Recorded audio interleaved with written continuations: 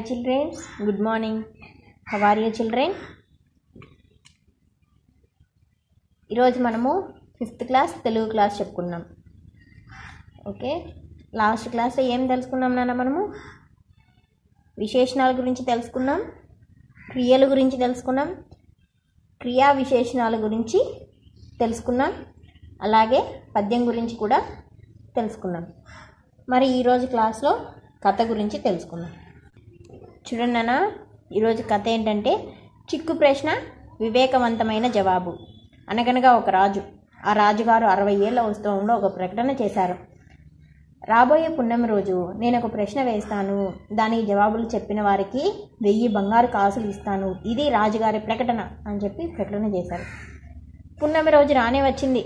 జనం తండోపతండాలుగా రాజధానికి చేరుకున్నారు. అందరూ రాజుగారు అడిగే ప్రశ్నల కోసం ఎదురు చూస్తున్నారు. రాజుగారు ఇలా చెప్పారు. మహారాణి గారికి గుత్తు వంకాయ కూర తినాలనిపించింది. వెంటనే వంటవాడిని పిలిపించి వెంటనే వంటవాడిని పిలిపించింది. కూరలో మసాలా బాగా వెయ్యి గుత్తి వంకాయ కూర గుమగుమలాడుతూ ఉండాలి అని చెప్పింది. వంటవాడు రంగంలోకి దిగాడు. సన్నె కళ్ళు మీద మసాలా నూరుతున్నాడు. కూర వండకముందే వాసన గుబాలించేస్తుంది. వంటవాడి కూతురు ఉయ్యాల్లో పడుకుని నిద్రలేచి ఏడుస్తుంది. పొయ్యి దగ్గర ఉన్న నీల గంగాలంలో నీల గంగాలం పట్టుకొని వంటవాడి కొడుకు ఆడుకుంటున్నాడు.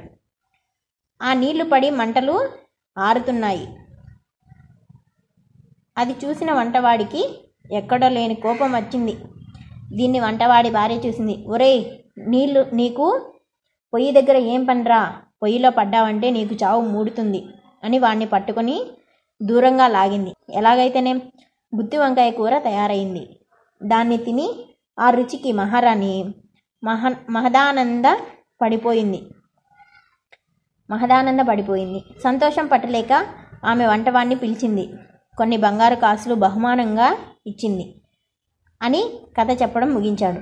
కథ బాగా విన్నారుగా? రాణిగారు వంటవాడికి ఎన్ని బంగారు కాసులు ఇచ్చింది? ఇది ప్రశ్న. సమాధానం కథలోనే ఉంది. ఎవరు జవాబు చెప్తారో చెప్పండి అన్నాడు రాజుగారు. పండితులందరూ తలలు కొ గోక్కున్నారు. పండితులందరూ తలలు గోక్కున్నారు. జవాబును మాత్రం ఒక్కరైనా ఊహించలేకపోతున్నారు.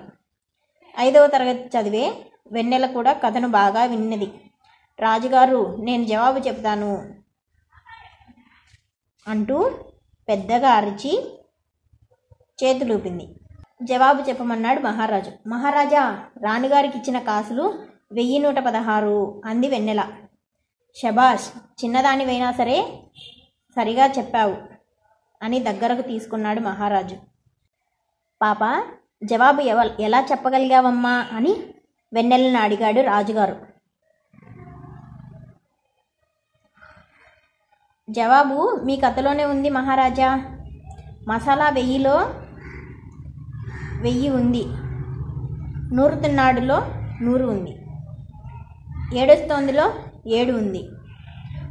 ఆరుతున్నాయిలో ఆరు ఉంది. మూడుతుందిలో మూడు ఉంది. మొత్తం కలిపితే వెయ్యి నూట పదహారు అని జవాబు చెప్పింది వెన్నెల. జనం చప్పట్లతో వెన్నెలను అభి అభినందించారు. రాజుగారు ప్రకటించిన బహుమతి వెన్నెలకే దక్కింది. చూడండి అన్న మళ్ళీ ఒకసారి చెప్పుకుందాం.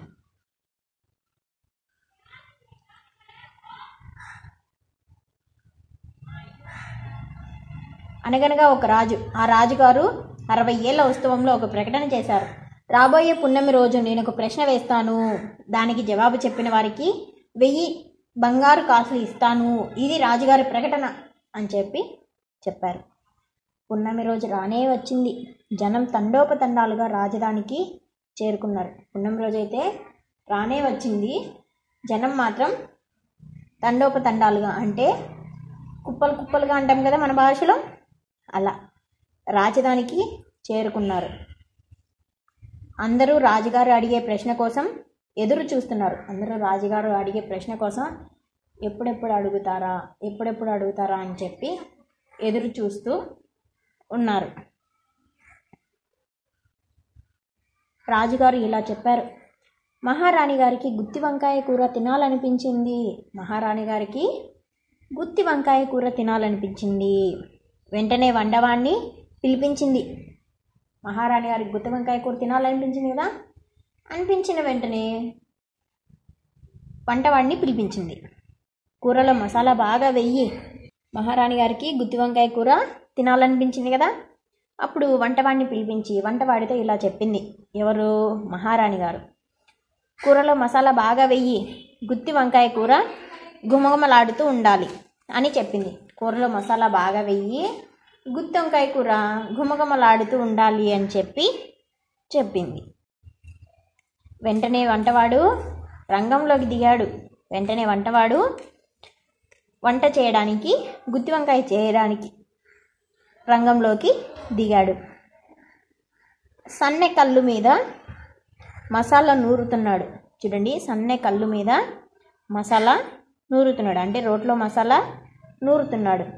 కూర వండక ముందే వాసన గుబాలించేస్తుంది.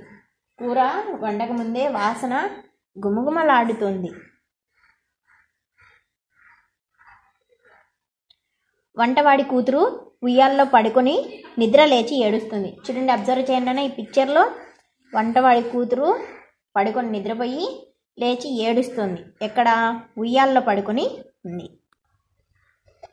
పొయ్యి దగ్గర ఉన్న నీల గంగాలం పట్టుకొని వంటవాడి కొడుకు ఆడుకుంటున్నాడు. అక్కడ చూడండి ఇక్కడ పొయ్యి దగ్గర ఉన్నటువంటి గంగాలం పట్టుకొని ఈ అబ్బాయి ఈ వంటవాడి వాళ్ళ బాబు. వాళ్ళ కొడుకు ఆడుకుంటున్నాడు కదా. ఆ నీళ్ళు పడి మంటలు ఆరుతున్నాయి. చూడండి ఇలా పొగలు వస్తున్నాయి కదా. నీళ్ళు ఎక్కువ కాగినాయి ఎక్కువ వేడి ఎక్కువయ్యి పొగలు వస్తున్నాయి. అది చూసిన వంటవాడికి ఎక్కడ లేని కోపం వచ్చింది. ఇది చూసి అబ్బాయి ఇలా పోయి గంగాలం దగ్గర ఆడుకుంటూ ఉండడం చూసి వంటవాడికి ఎక్కడ లేని కోపం వచ్చింది. దీన్ని వంటవాడి భార్య చూసింది. ఒరేయ్ నీకు పొయ్యి దగ్గర ఏం పనిరా? పొయ్యిలో పడ్డావంటే నీకు చావు ఉడుతుంది ఏమంది? ఒరేయ్ నీకు పొయ్యి దగ్గర ఏం పనిరా? పొయ్యిలో పడ్డావంటే నీకు చావు మూడుతుంది అని వాణ్ణి పట్టుకొని దూరంగా లాగింది. ఎలాగైతేనేం? గుత్తి వంకాయ కూర తయారైంది. దాన్ని తిని ఆ రుచిని మహారాణి మహదానంద పడిపోయింది సంతోషం పట్టలేక ఆమె వంటవాడిని పిలిపించింది. చూడండి ఎలాగైతేనేమి వాళ్ళ బాబు వాళ్ళ బాబు ఆడుకుంటేనేమి వాళ్ళ పాప ఏడుస్తుంటేనేమి వంకాయ కూర అయితే తయారైపోయింది. దాన్ని తిని మహారాణి గారు ఆ రుచికి మహదానంద పడిపోయింది. అంటే చాలా సంతోషపడిపోయింది. సంతోషం పట్టలేక ఆమె వంటవాడిని పిలిపించి కొన్ని బంగారు కాసులు బహుమానంగా ఇచ్చింది. అని కథ చెప్పడం ముగించారు. ఎవరు చెప్పారు కథ? రాజుగారు కథ చెప్పారు. కథ బాగా విన్నారుగా? మహారాణి గారు వంటవానికి ఎన్ని బంగారు కాసు ఇచ్చింది? అని చెప్పి మహారాజు గారు అడిగారు. ఇది ప్రశ్న. మహారాజు గారు ఏమన్నారు? ఇది ప్రశ్న. సమాధానం కథలోనే ఉంది. ఎవరు జవాబు చెప్తారో చెప్పండి. మహారాజు గారు ఏమన్నారు? ఇది ప్రశ్న. ఎవరు సమాధానం చెప్తారో చెప్పండి. సమాధానం కథలోనే ఉంది అని చెప్పి చెప్పారు. పండితులందరూ తలలు గోక్కున్నారు. జవాబును మాత్రం ఒక్కరైనా ఊహించలేకపోతున్నారు. ఐదవ తరగతి చదివే వెన్నెల కూడా కథను బాగా విన్నది. రాజుగారు నేను చెబుతాను అంటూ పెద్దగారిచి చేతులూపింది. జవాబు చెప్పమన్నాడు మహారాజు. మహారాజా రాణిగారు ఇచ్చిన కాసులు వెయ్యి నూట పదహారు అంది వెన్నెల.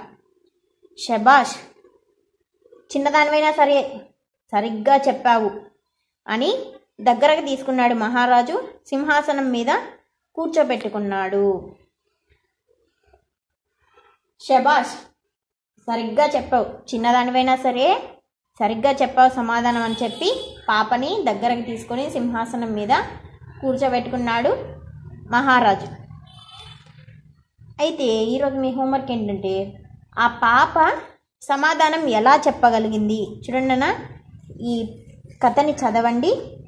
పాప సమాధానం ఎలా చెప్పగలిగిందో మీకే అర్థమవుతుంది.